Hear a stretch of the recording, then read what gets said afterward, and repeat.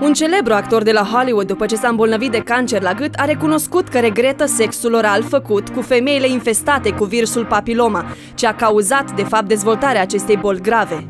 Cancerul la gât apare tot mai devreme. Dacă în trecut 90% dintre cei ce se îmbolnăveau de cancer la gât erau vârstnici, fumători și consumatori de alcool, astăzi vârsta bolnavilor de cancer la gât a scăzut în medie la 20-22 de ani.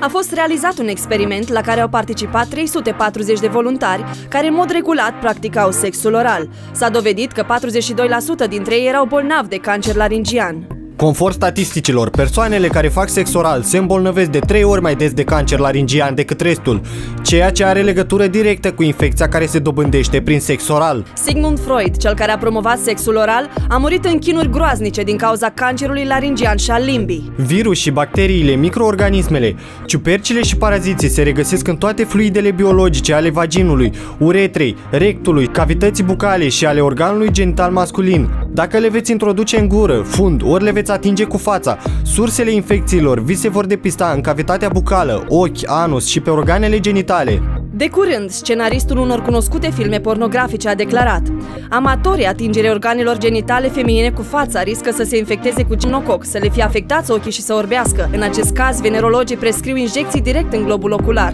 Sexul anal și oral este foarte periculos în ceea ce privește infectarea. Chiar dacă se folosește prezervativul, există riscul infectării cu râie, păduc pubieni, moluscum contagiosum, herpes genital, virusul papiloma uman sau sifilis. Infecțiile intestinale, viermi, salmoneloza și streptococii din grupele A și B, pneumonia, bacilul gripal, meningococul, neisseria meningitidis, micoplasma, ureaplasma și o serie de alte microorganisme se transmit în timpul sexului oralogenital. Ca urmare a alterării sexului anal, oral și vaginal, diferențele de microfloră duc la apariția colpitei la femei. Oamenii de știință sunt convinși că sexul anal este cauza apariției tumorilor maligne ale rectului, mai mult decât fumatul sau consumul de alcool. Mii de oameni mor anual din această cauză. Introducerea directă în mod constant a spermei în rect cauzează la oameni de ambele sexe dezechilibru între diverse tipuri de limfocite, iar în final conduce la o suprimare directă a imunității. Smegma, care se găsește în vârful organului genital al fiecărui bărbat, reprezintă un puternic material cancerigen îndeoseb pentru rect, iar metodele de bariere contraceptive sunt ineficiente în acest caz. Femeile și bărbații care practică contactele sexuale anale au un risc crescut de colostomie. Este un anus creat artificial în abdomen, pe cale chirurgicală. Pacienții cu colostomie elimină fecalele printr-un orificiu la care este atașat un recipient. Mucoasa rectală nu este concepută pentru penetrări, spun medicii, pentru că poate fi rănită cu ușurință. Apar dereglări ca deschiderea anusului, relaxarea sfincterului, ce conduc la incontinență fecală și prolaps rectal.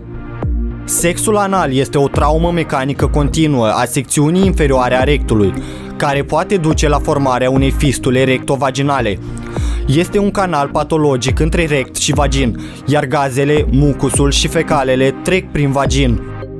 Sperma introdusă în rectul unei persoane provoacă daune. Sperma conține multe substanțe hormonale, prostaglandine, care inhibă funcționarea sistemului imunitar.